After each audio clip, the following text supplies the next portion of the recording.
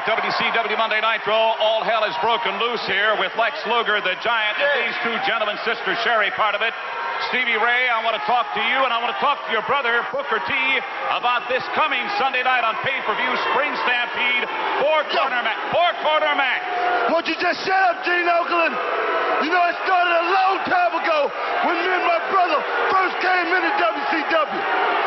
We are seven times World Tag Team Champions, and we ain't getting no respect. So from now in WCW, we take what we want. Get some, want some. Anybody got the guts?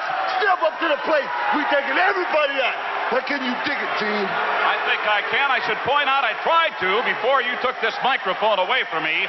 Stevie Ray, this is unusual. A four-corner match, and that could mean that conceivably, theory, you could be facing your brother. You know, just like my brother got to say, we get no respect here in WCW. Each and every week, you see the same suckers coming out here, talking in the ring, talking right here with Lex Luger. Fuck, you've been a throwing it outside since you got back to big time wrestling, and you know what I'm talking about. And Giant, you big, tall, long drink of water. That's, that's, I would take care of you personally. Okay, put us in the match. I'm telling you, it's on like neck bone sucker. All right, uh, very quickly, Sister Sherri, your thoughts on all of this? My thoughts about it is that the Giant and Luger stick their nose where it doesn't belong. We divide and we conquer. I thank you very much. Harlem Heat now are going to be going into individual competition, four-corner match, and you know what it's all about. The winner has an opportunity in the near future to meet Hulk Hogan for the WCW Heavyweight title. More Nitro. We're live. It's Monday night. You know it. Thanks a lot, Gene Okerlund, and we welcome to our broadcast location a man who joins us in hour number two, but stops in here for hour number one, Mike Tenay. Wait, Hello, wait, wait. Mike. Before we get to that,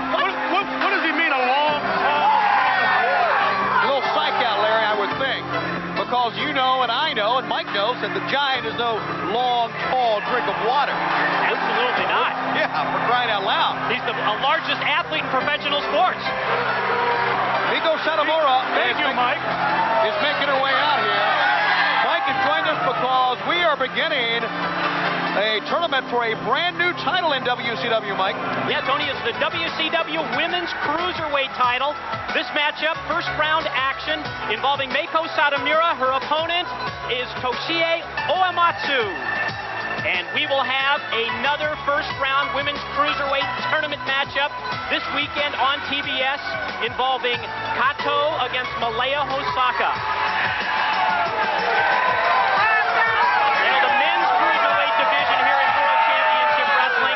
Set an awfully high standard. We're going to find out if the women can match their success. Well, we have seen some great things out of the women's heavyweight division. And there's a good look at Uematsu. And there's the ladies' cruiserweight belt. Mickey Jay, the referee, holding it up. The men's cruiserweight weight limit set at 230 pounds, and the women's at 130 pounds. Oh, drop kick right off the bell from Uematsu. Of course, Akira Hokuto, also of Japan, in possession of the women's heavyweight title in World Championship Wrestling. A title that she will defend here tonight, and the winner will go on to Spring Stampede to meet Medusa. It's such an incredibly tough training regiment that the Japanese women wrestlers must complete before they become pros. Thousands try out each year, and just a handful make the grade. Well, we got the same thing at the power plant. There's a million wannabes and only one survivor. Well, you know, Now, who, wait, which one's the one in the green? one of the, That is Uematsu. Okay, now we're getting somewhere.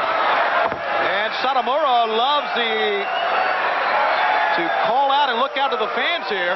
Yeah, but that's a waste of time. I don't care. Even if you got your opponent hurt, zero in. Don't waste those precious seconds. Scoop slam with ease that time, and Satomura going to go up top now. Both of these young ladies, of course, associated with the GAEA promotion in Japan. It's a sister promotion to WCW in the Orient, much like the uh, working agreement that we have with New Japan Pro Wrestling for the Man. See, that's the product of wasting too much time. What's the one in the red? Satomura, don't you do your homework? I mean, look at look at your read this. look at your format.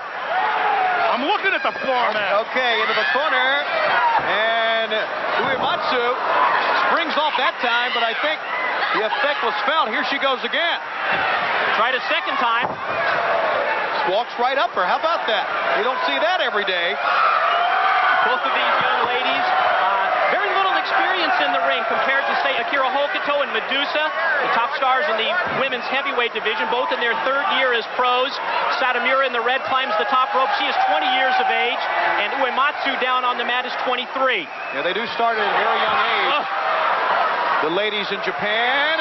How about that? An arm drag off of the top rope. And the open hand head slap prior to that that apparently knocked the equilibrium uh, off Satomura. Up on top now, Uematsu. Just wasting time. Big swan dive flag. Two and three. That's a big win for her. Yeah, the one in the green won it. The- very good. The one in the green won it, according to Larry Zbyszko. And for Uematsu now, she will go on now and advance in this tournament to crown the very first ladies cruiserweight champion in World Championship Wrestling. Impressive victory. Top rope, high risk move. And catches her with that big splash off the top. And you're right, she's headed to the championship round of the Cruiserweight title tournament. Thanks for taking my slow-mo, Mike. Well, at least he knew who the one in the green was. Okay, who was it, Tony? Quick. Uematsu is your winner on Nitro. Ladies and gentlemen, still to come tonight, the ladies heavyweight champion Akira Hokuto. Diamond Dallas Page is here. The Steiner brothers, plus a whole lot more. And you when we come back live. Promotional consideration.